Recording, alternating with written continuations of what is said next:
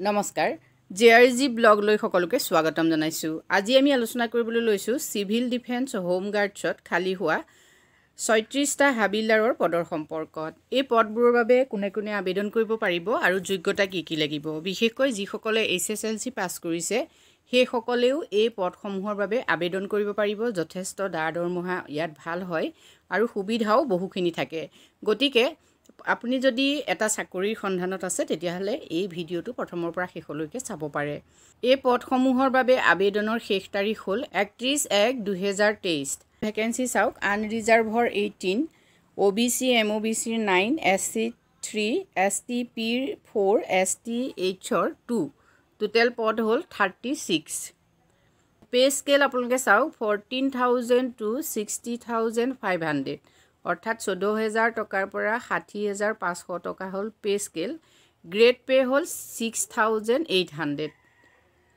Pay' band হ'ল two.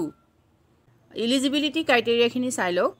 Citizenship হ'ল candidates must be Indian citizens permanent resident of Assam. Employment এক্সচেঞ্জৰ registration আপোনাৰ থাকিব লাগিব যিহেতু লোকেল যিটো আপোনাৰ এমপ্লয়মেণ্ট এক্সচেঞ্জ তাত আপোনাৰ ৰেজিষ্ট্ৰেশ্যন থাকিব লাগিব। এইটো কম্পালচৰি হয়। নেক্সট লোকেল লেংগুৱেজ আপুনি জানিবই লাগিব। যিটো ষ্টেট লেংগুৱেজ আমাৰ ষ্টেট লেংগুৱেজ এতিয়া আছামিজ আছামিজ ভাষাটো আপুনি ভালকৈ জানিব লাগিব। এজ লিমিট চাওক candidate age must be between eighteen to forty years ওঠৰ বছৰৰ পৰা চৈধ্য বছৰৰ ভিতৰত হ'লেই আপুনি আবেদন কৰিব পাৰিব। কেটেগৰী ৱাইজ আপোনালোকে এজ ইলেকশ্যন চাই লওক। S C S T five years O' B C M O' B চিৰ বাবে থ্ৰী ইয়েৰ্ছ এডুকেশ্যন কোৱালিফিকেশ্যন চাওক H S L C pass হ'লেই হ'ল। H S L C pass হ'লে আপুনি আবেদন কৰিব পাৰিব কিন্তু লগতে আদাৰ কোৱালিফিকেশ্যনত এটা বস্তু ইয়াত আছে।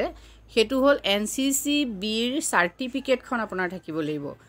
যদি এন চি চি বিৰ চাৰ্টিফিকেট আপোনাৰ নাই তেতিয়াহ'লে আপুনি এই পদবোৰৰ বাবে আবেদন কৰাৰ উপযুক্ত নহয়। ইয়াত এপ্লিকেশ্যন ফিজ নাই গতিকে যিসকল ইণ্টাৰেষ্টেড হয় এই পদসমূহৰ বাবে তেখেতসকলে অনলাইন যোগে এপ্লাই কৰিব পাৰিব। আপোনালোকে official S L P R বিত গৈ পেলাই আপোনালোকে অনলাইন কৰিব পাৰিব। ইম্পৰ্টেণ্ট ডেটখিনি চাই লওক। Starting date of online application submission second January two thousand twenty three অৰ্থাৎ ছেকেণ্ড জানুৱাৰীৰ পৰাহে অনলাইন লিংক যিটো সেই লিংকটো খোলা হ'ব। গতিকে ছেকেণ্ড জানুৱাৰীৰ পৰা আপোনালোকে অনলাইন কৰিব পাৰিব। আৰু last date thirty one first January two thousand twenty three মানে টু থাউজেণ্ড টুৱেণ্টি থ্ৰীৰ থাৰ্টি ওৱান জানুৱাৰীলৈকে লাষ্ট ডেট আছে। গতিকে যিসকলে পদসমূহৰ বাবে এপ্লাই কৰিম বুলি ভাবিছে যথেষ্ট সময় আছে গতিকে আপোনালোকে এপ্লাই কৰিব পাৰে। সবিশেষ তথ্যখিনি যদি আপোনালোকে চাব খোজে তেতিয়াহ'লে ডেছক্ৰিপশ্যন বক্সত অফিচিয়েল যিখন নটিফিকেশ্যন সেই নটিফিকেশ্যনখনৰ লিংক দিয়া থাকিব। আপোনালোকে তাত গৈ পেলাই সবিশেষ তথ্যখিনি চাব পাৰিব। আজি ভিডিঅ'টোত আমি আপোনালোকৰ বাবে এইখিনি তথ্য আগবঢ়াইছোঁ। যদি উপকৃত হৈছে কমেণ্ট কৰি জনাব। ধন্যবাদ।